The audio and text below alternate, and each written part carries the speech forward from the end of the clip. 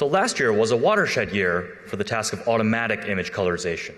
Several simultaneous methods proposed by Iizuka, Larsson, and ourselves showed surprisingly good results on the task using deep networks. The idea is to take a deep network trained on millions of images to directly map from the grayscale image to the color information. We can then concatenate the input and output and hopefully achieve a plausible colorization of the input grayscale image. Here's one example of colorizing an Ansel Adams photograph using our method. But these methods don't always work. In this case, we see um, large spatial inconsistencies. Automatic methods can make mistakes. But there's an even more fundamental issue at play here. While the automatic method can make very reasonable guesses on such as the mother's skin here, when we look at the mother's shirt, it can, it's completely ambiguous. It can take on one of many different colors. And furthermore, if we look at the baby's um, blanket as well as the children's shirts, they can all take on different colors. So this is actually a very large space, even combinatoric. Our result only, can only choose one of these colorizations. And interestingly, actually, if we look at the results from different methods, they choose something very similar. In the end, this is perhaps not what the user wanted. We develop a real time interactive system which allows a novice user to choose what they want and efficiently navigate this space. Of course, the graphics community has a long history of user driven colorization approaches. They generally fall under two camps. Number one is a global based approach. Typically, a um, exemplar image or a color palette is used to colorize an input grayscale image. The second offers more local control or is stroke based. Now, our supports both these different types of interactions, but for now, let's focus on the second. In SIGGRAPH 2004, Levin et al. proposed seminal work called Colorization Using Optimization. There, a user could draw color strokes on top of a grayscale image. The unknown pixel colors are then defined to be a linear combination of their neighboring pixel colors. The weighting of this linear combination is determined by some sort of low level similarity metric. The method then solves a linear system to produce the full output colorization. And now this system can provide very good colorizations given the user, good user edits. As we've seen in this example. However, we do notice that the method requires many user points, as many as 80, for example, uh, in the image shown. And the reason for this is that the method has no knowledge of natural image priors. And this manifests itself in two different ways. Number one, in regions with low uncertainty, such as vegetation, still has to go in and specify explicitly the color. And number two, when the user does specify color, the way that the edit propagation rule um, is written is actually hand defined based on some sort of low level feature. So perhaps the edit propagation is not done as efficiently as possible. We'd like to use the power of deep networks, but also we'd like to support um, user interaction as well. In the absence of user edits, we'd like to be able to make educated guesses as to the color of a given region based on natural image priors. And in the presence of user edits, we'd like to be able to propagate them not only based on low level textures, but also mid to high level semantics. Here we give a simple demonstration of the interface that we've developed. On the left, we have a grayscale image, on the right, we have an initial colorization. You can see on this cup, the network first predicts a red cup. But what if a user wanted a blue cup? They can go in, at a single control point, make it blue. Conditioned on the grayscale image, as well as the user point, the, we provide an interactive colorization that has a blue cup. And we can see that this input point has been successfully propagated to the whole cup, even across the stripes. However, we see this undesirable shadowing artifact. So to remove this, the user can go in and add another point within the brim of the cup. And now this undesired artifact has been removed. In addition, we provide a data driven color palette. This allows the user to quickly explore different modes uh, for this cup by changing the first point that they laid down. And if they don't see a color that they like, they can go to the continuous color gamut on the upper left, select their desired color. Now, in automatic colorization, a network aims to directly map a grayscale image to a predicted colorization, so from X to Y. What we'd like to do is also incorporate user points, such as these. To do this, we directly input the user points into the network in addition to the grayscale image. Now, training an automatic image colorization technique can be seen kind of as a classic supervised learning problem. We can gather many train, um, training XY pairs, in this case, grayscale and color images. We can then look at our current predicted colorization f of x, the ground truth colorization y, the loss or distance between the two, and we can adjust our network parameters to minimize this loss. For a user guided approach, we can simply add uh, another input to our system. So this, at first glance, seems very easy. We should just be done, right? However, there's really a major, major problem here, and that's the presence of the data. Whereas it's very simple to download millions of images and break them up into their grayscale and color components to get X and Y, obtaining millions of user interactions is likely to be expensive. And there's really a more nefarious problem at play here. That is, the user interaction is going to actually be dependent on the system, and the system itself needs to be trained on the user data. We have a chicken and egg problem. And this is something we need to bypass. We do this by randomly simulating user interactions. That is, we take the ground truth color Y, we randomly reveal points, and feed that to the network F. We can view these randomly revealed points as hints that the network is able to use to try to guess at the rest of the colorization. Some example simulated user points are shown here for our cup. The number of points we have is drawn from a geometric distribution. What this means is that with some probability p, in this case 1 8th, the network has to perform completely automatic colorization. It does not get the benefit of seeing any user points. The vast majority of the time, however, it gets to see at least a few points. And a small percentage of the time, it actually gets to see many, many points. So it has to operate in this regime as well. Now, there's still likely to be some sort of gap between how users actually use the system and these random simulated, randomly simulated points. But actually, randomly simulating points um, provided us a um, effective system. Perhaps this indicates that the workspace here is low dimensional enough that randomly simulating the points actually adequately covers it. In the end, our network learns how to integrate these hints in a learnable end to end framework. And this means that it can use anything it wants, from low level texture features to mid to high level semantic concepts, whatever it needs to help solve the task as determined by the data. Now, here's a quick glance at our network architecture. There's nothing too special here. We follow current best practices, so we'll refer you to our paper for additional details. We train on the ImageNet database and fine tune some of the layers from our previous work in ECCV 2016. To begin, we test our system qualitatively on some legacy black and white photos. So here's an amateur family photograph of my grandparents taken from 1949. You can see that using our interface, we can quickly toggle through different background colors as well as different shirt colors for my grandma's shirt. With some more points, we might get something we also tried this iconic photograph of Albert Einstein, and with a few clicks, we can give him a nice pink tongue.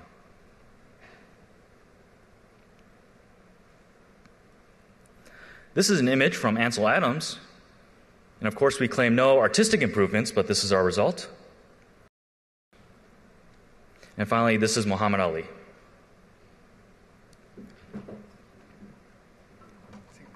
Thanks, Thanks Richard. So Richard just presented a few encouraging visual results, but how well does the system work in general?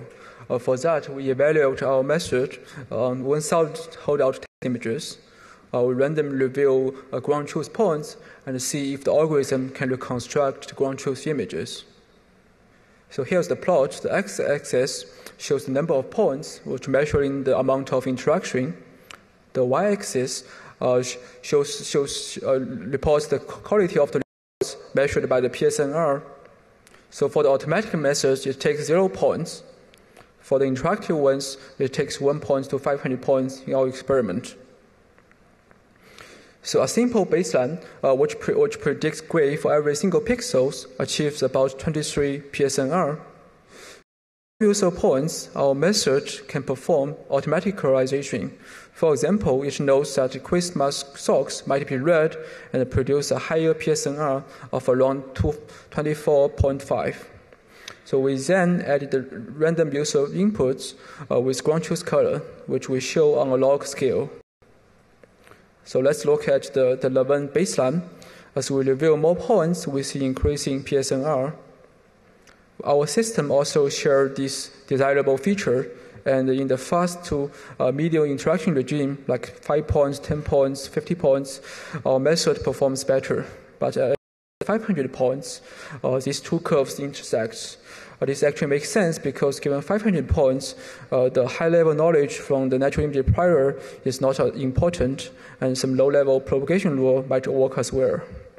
So in addition, we show a few uh, recent methods like in, published in 2016, uh, which our system also outperforms. So all these three, three baseline methods do not have access to the natural image prior as we have in our method. So, so far we have shown that given the correct colors, our algorithm can propagate the color effectively. But in practice, what we observe is that it's very often hard for users to pick up the correct color. So how can we guide the user uh, to picking up the plausible color? Here we propose a data-driven approach as well, based on the predicted color distribution. So here we suggest common colors like different blues for sky, a variety of greens for the so color, the color, skin color is often very hard to pick. So we also provide a few choice as well as for clothing. So here we show that the uh, image of a parrot. Uh, looking at this particular user point, uh, the system provides these suggested colors. So as the user clicks on each suggested color, the output colorization will change accordingly.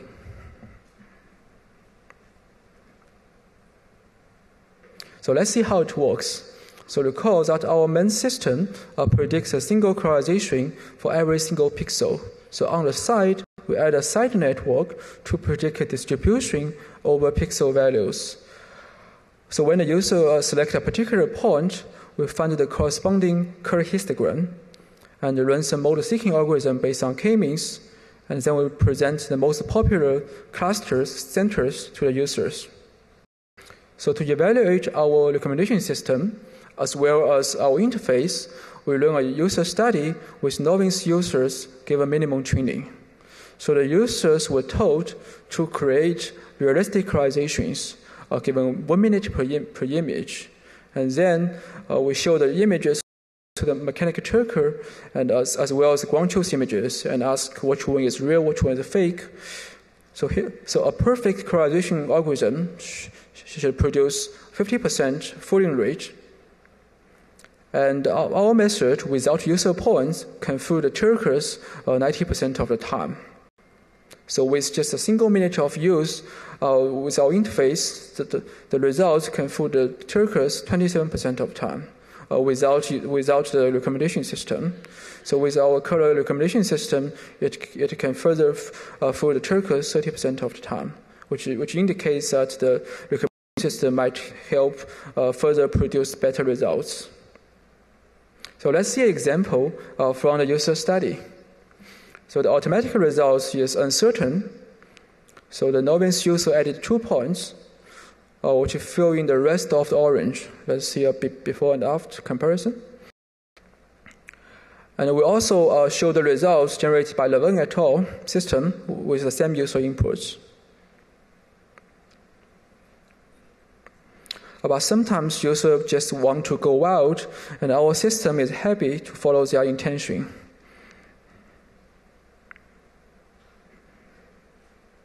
So we can also change the color for the actor Mark Ruffalo's face. There are a few color choice. Maybe the green works best for him. So instead of uh, local color hints, we can also provide other kinds of uh, user hints, like global histogram. Uh, this is implemented in the same way. We simply feed the desired color histogram to the network as input. So here the bird is colorized using the color histogram from the smaller reference images in the corner. And here are the results. So this is another way for you to quickly go through diverse possible colorizations. So here is another example. Here are the colorful results given different kinds of reference images. So notice that the algorithm different colors of this cute lollipop to different objects. So of course, algorithm makes mistake, and our system is no exception. So here we show a, a failure case from our user study. So the novice user tried to make the jeans blue, but the blue the color blue is propagated to the background as well, demonstrate undesired non-local effect. So the algorithm simply uh, propagates the color too much. So here is the opposite case where the algorithm propagates too little. So a novice user adds a point on the road, but the blue color propagates to the other side of the road. So it's still an open problem and it's very hard to determine uh, how much you should propagate. So for the global transfer, our method sometimes uh, produce less satisfactory results if the reference image's color do not fit the input image. So in conclusion, we have developed a deep learning-based method which can map a grayscale image along the user hints into output colorization. So the system is learned in an end-to-end manner. We see this work as part of a larger trend of deep learning-based methods integrated with user, user interaction. For example, in the application of interactive segmentation or like sketch to photo, So, so, so please try our code on your own images or your advisor's faces, and uh, please visit the website for, for more information and comprehensive results. Thank you very much. Thank you very much for your attention.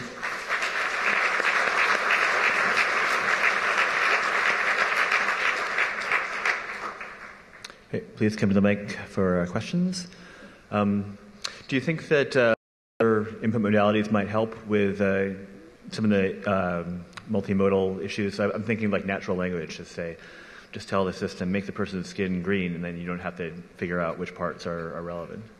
Yeah, absolutely. That sounds really interesting. Um, yeah, we played with just these local hints and these global histograms. It's really, I think, just scratching the surface um, in that in that case. So we could have a lot more different types of interactions as well. Other questions? Yes, um, oh. I have a question. Um, this is just beautiful work. Oh, um, thank you. I wanted to ask, did you look at more modern photographic methods, things that are on higher in uh, photography paper? Because your style is, has a vintage nature to it.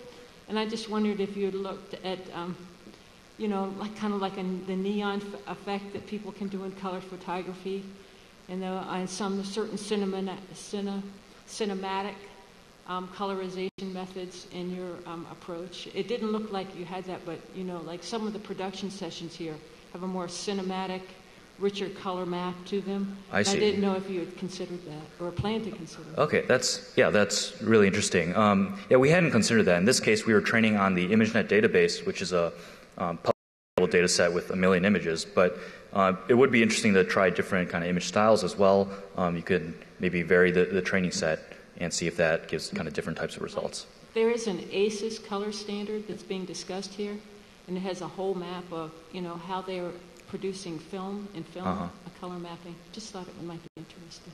Okay, cool. Thank you. Anything else? Great, thank you. All right, thank you.